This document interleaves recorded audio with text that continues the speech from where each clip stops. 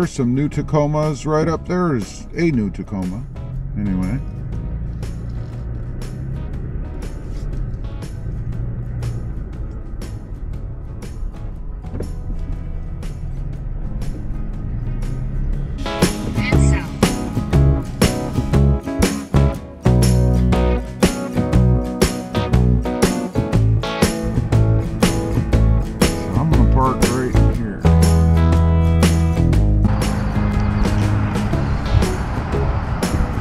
TRD Sport.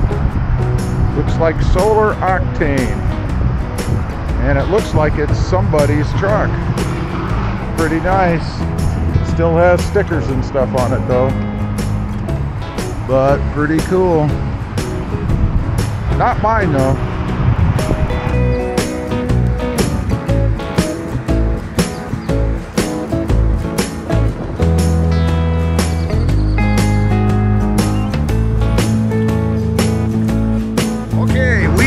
Are at Toyota of Pharr, and you guessed it, we're trading off the electric lime green Tacoma sitting there in the background for a 2024 TRD Sport, and this is in the red, and I can't remember the exact color. I'm here with Josh Landon. He is my salesman here.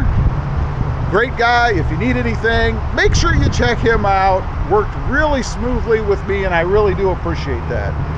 So let's uh, let's take a look at what we've got. All right, let's take a look. Of course, down in the front, we've got the chin strap. I have to always point that out because I don't like it. It's going to have to go. But we're just going to do a, a brief overview. Obviously, we'll take a, a better look at the truck uh, once we get it home and all that stuff. Of course, we should have the soft tailgate, I hope. Oh, look at that, brand new. It doesn't even want to open. Love it. We've got the rails on the sides. That'll be good because the sport bar, which you've probably seen, will be going on this truck. It's still amazing to me how light this thing is. Take a quick look inside. Look at that. Take a whiff of that. Ah, love that new smell. Anyway, that's uh, that's it for now. Just wanted to give you guys my first look at it. Love the truck, love the color. Much more to come. All right, it is time to remove a couple of things from the new truck, and I'm going to go over the sticker on it and let you guys know how much I got for the 2023 Electric Lime Toyota Tacoma.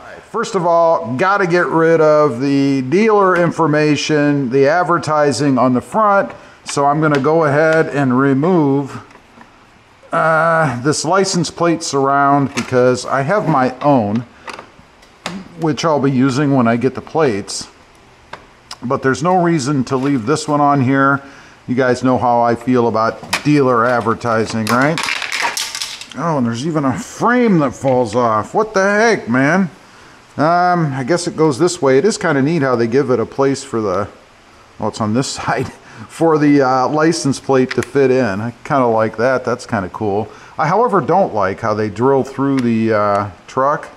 Pet peeve of mine. I mean, we do have to have a front plate here in South Texas, so I guess, you know, it, it kind of is what it is, but uh, I'm not a big fan of that.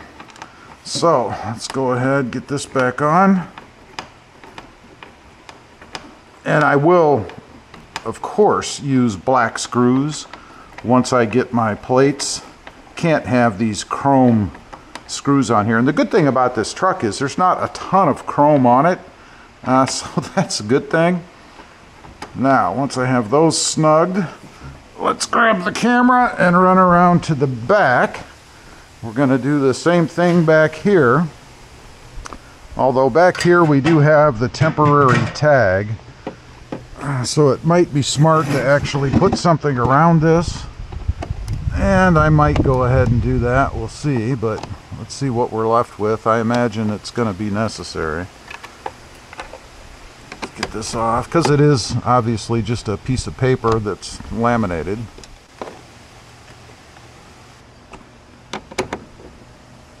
Okay, these days, for some reason, we just have to have a Sirius XM sticker on the window. Drives me nuts. I mean, you know, if any of this adhesive which there always is, at least they could use a static sticker, right? Um, if any of the adhesive gets left on the window, you're going to have a nice smudge mark uh, when it gets dirt on it. And that sucks. I really have a problem with them putting these stupid stickers on the windows. And I think it actually happens at the manufacturer. I don't think that happens at the dealer for sure. So that removes that one. Now, over on the other side, yeah, there's nothing else over there. Uh, we have another uh, sticker, and this is on the outside uh, window. And maybe this should, this probably should have been taken off. Well, it says here, not to be removed except after sale or lease to a customer. So what's so important about it? It says for vehicles in this car line, this is a parts content sticker. 35% come from the US and Canada. Major sources of foreign parts include Japan 20%, Mexico 30%. For this vehicle, final assembly point was in Guanajuato, don't know how to pronounce it, Mexico. Country of origin engine parts are US, transmission parts are Japan. Note, parts content does not include final assembly, distribution, or other uh, non-part costs. Anyway, that's so I know, probably a government requirement, I guess, uh, what parts are on here. And of course, this is leaving adhesive. Look at that. Nasty ass stuff. Wow, that's going to be fun. And it's sticking to everything. See, this is something that they're required to leave on, I'm sure and then me as the owner gets to screw with. Ugh. Great. What a mess. Anyway, look at that. Look at all that adhesive sticking on there. Well, fortunately, it's not everywhere. but nonetheless, I still get to screw with this because of probably government requirements. You know, they have to tell us what parts I mean, I know it's not all U.S. parts, right?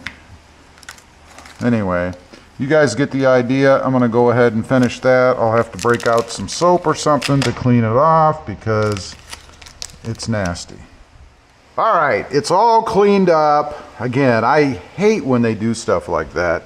Anyway, um, not a big deal. We're going to see if this fits too, if I have time. Now, let's take a look at the sticker. I'm going to run over what, uh, what is in this truck or on this truck and what the included options are. So let's take a look. First of all, this is a 2024 4x2 double cab. Hopefully you guys can see this. I'm not sure how well it'll come through on camera. It is supersonic red. Uh, made in Guanajuato, I don't know how to pronounce it, Mexico. So that is the final assembly point. And let me point out, it's assembly point, where it's put together, not where it is actually made. 22 miles per gallon combined city and highway. That's 20 in the city and 24 on the highway. They say it's going to cost me uh, about uh, $2,500 more in fuel over five years compared to the average new vehicle or $2,450. That doesn't really jive. I guess it does. Fuel economy is a 5 and smog rating is a 6 if you care about that. So what is this? It is the iForce uh, 2.4 liter uh, four cylinder turbocharged engine, eight speed automatic. We all know that. Coil spring multi rear link suspension. Uh, tow hitch receiver, safety and convenience. We've got the Toyota Safety Sense connected services, 4G network dependent, blah, blah, blah. Blind spot monitor with rear cross traffic alert. Exterior, it has 18 inch machined alloy wheels, smart key system, uh, LED headlights with daytime running lights and fog lights, interior fabric trim seats with driver lumbar, which is power by the way. It's not like a the old crank thing, it is a power button for that, although the rest of the seating is manual.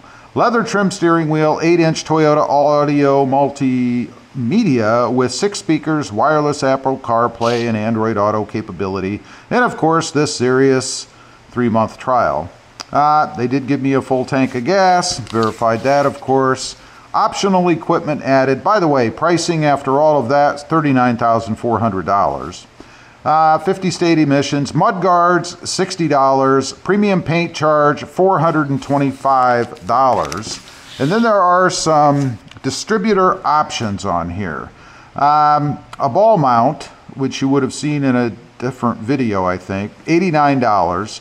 The blackout package for 349. That includes black badge overlays and tailgate inserts.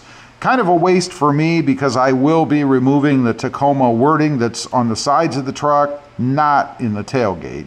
Connectivity kit $75, dash cam 499. Exhaust tip black chrome $130.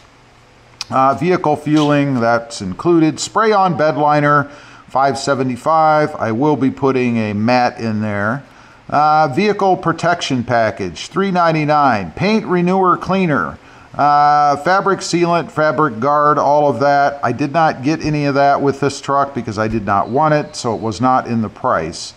Uh, moving on down, oval tube step, black. I do have those, $700. They were already installed. I probably would not have gotten those. That brings us to, uh, by the way, those dealer distributed options would have been $2,816 for a grand price or total price of $44,196. Now, you surely noticed this. Uh, this was an addendum to the price. So that $44,196 is not what they were going to charge.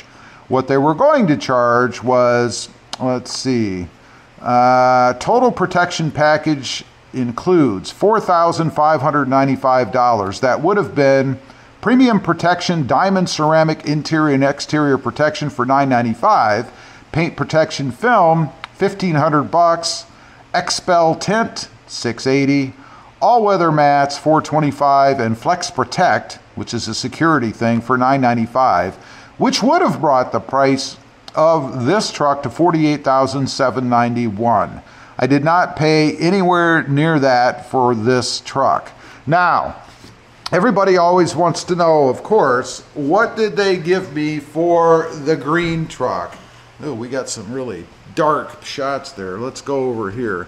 What did we pay for the green, or what did we get for the green truck rather? My uh, trade-in value on that truck was thirty-seven thousand. We're going to round it to five hundred dollars. That's what I got out of the truck. Um, that was an increase over where we started.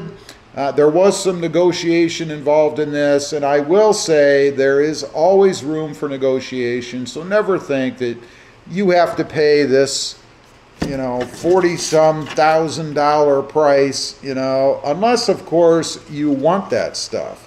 You're getting something for it if you're going to pay for it, right? Notice there was no dealer adjustment or add in.